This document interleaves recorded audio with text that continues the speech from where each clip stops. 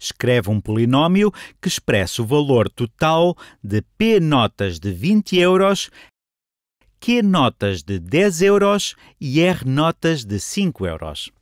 Qual é o valor de P notas de 20 euros? Se tivermos P notas de 20 euros, o valor de cada uma dessas notas é 20 euros. Desta forma, o total das notas será 20p. 20p.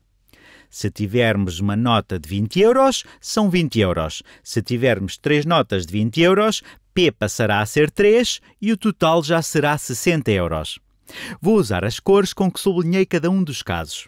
Sublinhei este amarelo, P notas de 20 euros, 20p, estamos a falar de P notas de 20 euros.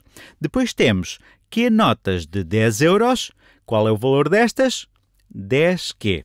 Se tivermos uma nota de 10 euros, teremos 10 euros. Se tivermos 10 notas de 10 euros, e se Q valer 10, isto valerá 10 vezes 10, 100 euros. E por fim, temos R notas de 5 euros. Valerá 5R euros. Uma nota de 5 euros vale 5 euros. Duas valem 10. E já está. Expressamos o problema apresentado como polinómio polinómio. Significa que tem vários termos. Neste caso, temos três termos. Também lhe podemos chamar trinómio. Polinómio serve para designar mais do que um termo.